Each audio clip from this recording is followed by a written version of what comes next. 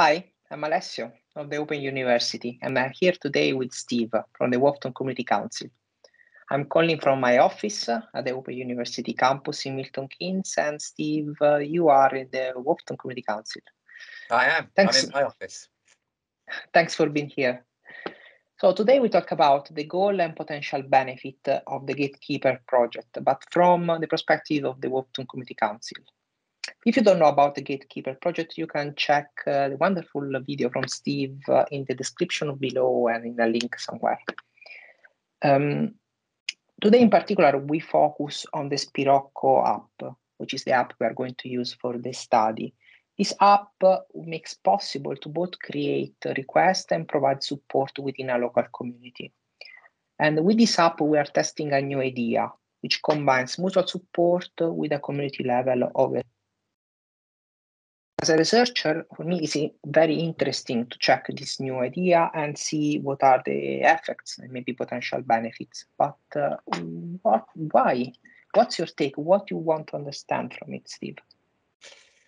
Thanks, Alessio. Yeah, I think um, here in Woughton, we're uh, we're eager to see how we can support communities to take more control, building stronger connections between each other, uh, and making sure that everybody's able to get the help and the support that they need when they need it.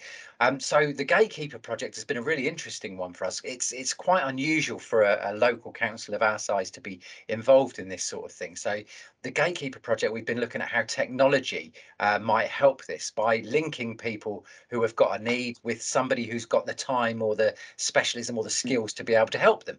It could be as simple as uh, someone needing help with the lawn being mowed and somebody who's got a lawnmower and has got some time to do it and just putting those people together um, or helping somebody to do their shopping because somebody else is going to the shop at the same time. It's those simple things that can make a real difference. And by supporting this approach, we can help people maintain their independence. We can help improve quality of life.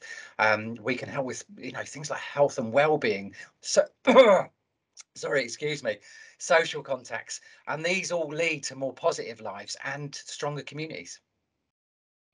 Well, we hope stronger and better communities, but uh, Steve, you know, uh, uh, we know we can achieve some kind of change. We hope that this change will be positive, but it's uh, very different to guarantee and predict the results. Now, it's important to make a study because we can set the, the scenario, we, we, we can consider the opinion of different people, the right of people uh, like you and the community while developing solutions, but we, we don't know about the, the end results, no? So for us, it's already a good outcome to understand what works, but also what doesn't work and why, what is what could be in the future the role of technology for supporting close relations between families, uh, neighbors, the volunteers, and the council. But uh, what a good results look for you? Um, I think we're we're in exactly the same position. I think we we don't know what's what's going to come from this, mm. but any outcome is going to be positive because it will give us a bit more understanding, a bit more data, a little bit more information, and then we can hopefully um, build upon that. What we what we really want to see, I think, is that that this project will show the power of the community uh, and the willingness of people to help where they can. We know that Woughton is a place where people are very eager to help each other. We've seen it when we've had flooding. We've seen it over the last couple of years with the pandemic, where people have really kind of stood up and been counted and got involved and hmm. helped their neighbours and other people in their community. So, if we can get some ideas about whether this this approach, using the technology, uh, using the apps, using this kind of uh, new and innovative way of, of supporting communities, can can bring additional benefits, that would be a really excellent result for us. Okay, thanks let's hope.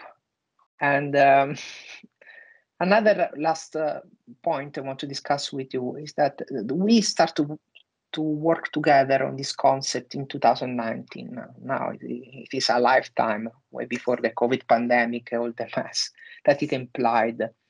So uh, in the last two years, uh, uh, I think our priority change at this Open University. I'm sure for the Woughton Community Council, it was even even a greater change. Now, how do you see our collaboration and in particular this study fitting in the current vision? Um, I mean, it, it, has been a while. It, feels it feels like a while uh, ago when we when we started doing this. Lots mm. of delays, lots of barriers, but but we will, of course, um, overcome. Uh, so I think I think this is a really good example of where uh, you as a researcher and the the kind of the might and the skill and the expertise of the Open University and the Gatekeeper project more more broadly can work uh, collaboratively with with with Woughton, uh, a small local council, and build something that's potentially greater than the sum of the parts. Um, we've got our specialisms we're very involved with our local community we've got good relationships with people and your research skills and your understanding of, of technology and, and and the other partners involved in this mean that between us we've got a real opportunity to try something new to try something innovative to try something creative.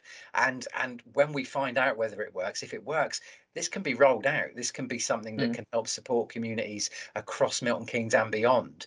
We want to we want to see technology um, bring benefits to the parish. Local government is not renowned for its speed or its its uh, ability to, to move with things. So so having something like this, having the opportunity to to really take a, a new uh, concept, a new idea, and embed it within our community is is a, a real um, a real exciting thing. And I hope that this initial project can set a tone for what might come in the future and an ongoing collaboration between us.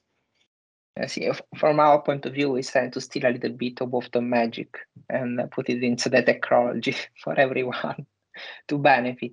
But thanks a lot, Steve, for your time and your talk. And thanks everyone for watching. We will see you next time.